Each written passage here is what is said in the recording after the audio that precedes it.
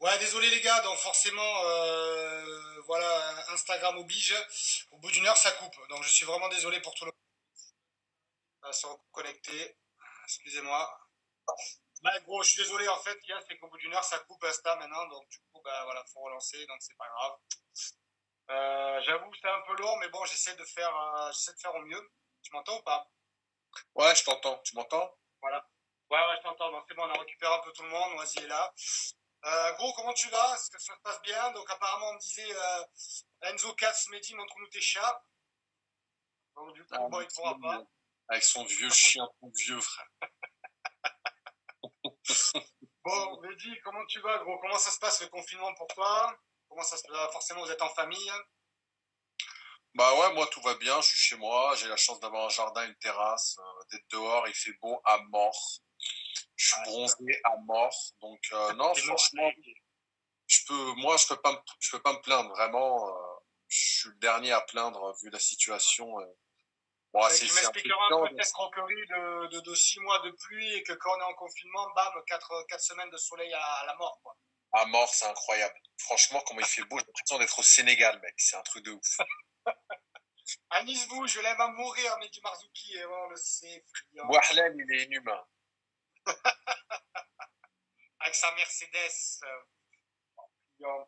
Bon, gros, est-ce que tu peux nous dire un peu ton sentiment là, un peu sur, la décision de la Fédé, forcément?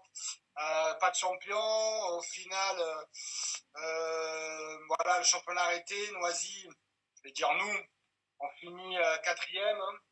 T'en- qu'est-ce que tu penses de tout ça un peu?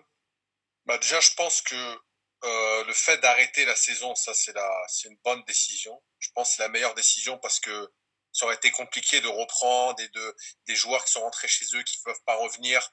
Donc je pense que reprendre le championnat, ça aurait été impossible.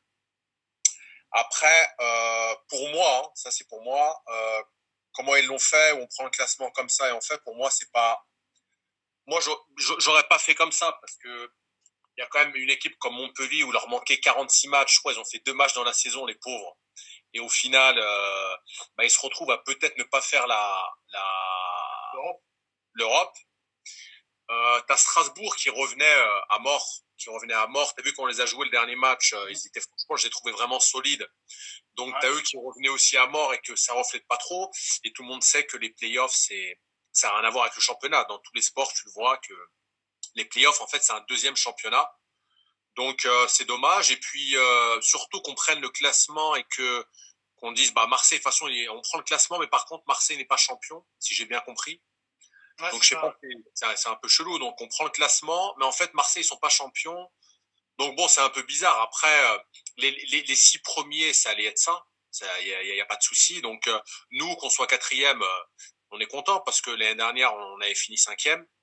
Même si on aurait préféré peut-être une troisième place ou faire quelque chose. Mais je veux dire, nous, on s'en sort bien, mais les clubs comme Montpellier ou Strasbourg, et même Marseille, qui est pas champion alors qu'on prend le, classement, c'est un peu dommage. Après, bon, c'était soit ça, soit prendre le classement de l'année dernière. Forcément aussi, ça aurait pas reflété, reflété un peu le classement de cette année.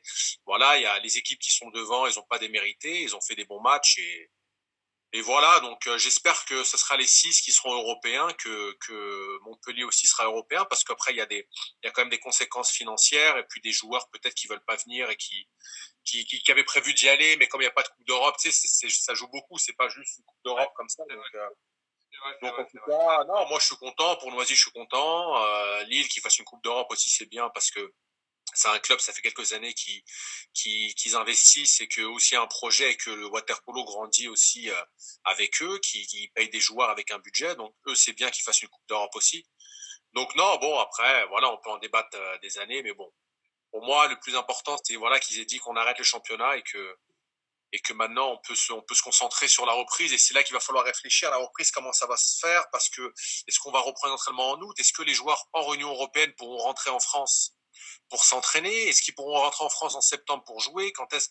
Donc vraiment là aussi il y a un bordel à voir pour pour pour la reprise parce qu'on sait pas peut-être qu'ils ferment les frontières de l'Union européenne et que et que les joueurs Ouais. qui sont partis bah, peuvent pas revenir donc faudra voir pour ça ouais Tourcoing Ouais, pardon j'ai dit Lille ouais.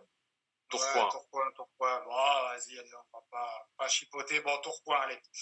Euh, comment toi tu as vécu cette, saison un peu Mehdi? Comment tu comment tu l'as ressenti? Comment tu comment tu la trouves forcément la, saison qu'on a faite euh... Niveau du club ou de moi? Bah, du mot du club, au niveau de toi, comment tu l'as ressenti toi en tant que capitaine forcément euh, par rapport à la dernière?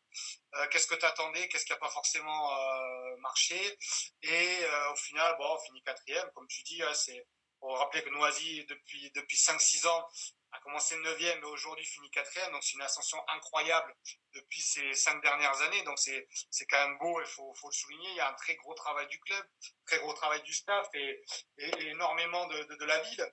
Donc toi, qui qui est l'enfant du club, forcément, tu es né ici, tu as joué ici toute ta vie. Comment tu as vécu un peu tout ça, gros?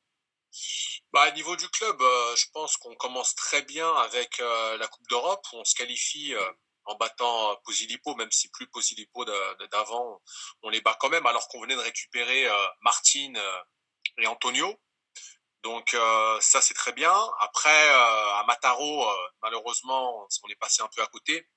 Je trouve que c'était difficile avec un nouvel entraîneur et 6-7 nouveaux joueurs. C'est difficile de prendre une saison. Tu vois, un système, faut, tu le construis des années et des années. Regarde Olympiakos, ils ont mis depuis 2001, ils avaient la même équipe et ils ont gagné la Champions League là il y a, trois ans, je crois. Donc euh, un, système, tu le construis pas comme ça et c'était un peu à l'image de, notre équipe cette année. On est un peu les montagnes russes. On va faire des matchs incroyables comme à Strasbourg et après on peut aller perdre à Reims. Donc euh, je pense qu'on manquait, tu vois, qu'il aurait fallu qu'on ait un minimum, euh, un minimum syndical, un peu de niveau de jeu qu'on n'a pas su tenir. Donc quand tout le monde jouait bien, c'était parfait, on aurait pu battre euh, quasiment tout le monde. Mais par contre, quand euh, on passe un peu à travers, bah là c'était compliqué à Sète, à Reims, à Douai. Comme il y a beaucoup de personnalités, beaucoup d'ego dans l'équipe, tu vois, c'est pas si tu peux pas construire ça direct, tu as que des jeunes, tu les insultes et tout le monde fait ça. Donc ça prend un peu plus de temps quand tu as des joueurs un peu plus d'expérience et surtout quand tu as six nouveaux joueurs et un nouveau coach. Donc notre saison, elle était, euh, il y avait des hauts et des bas. Donc au final, on est quatrième. Voilà, je pense qu'on est content, on fait mieux que l'année dernière. Donc pour, pour, pour Noisy, c'est une bonne chose de faire la Coupe d'Europe l'année prochaine.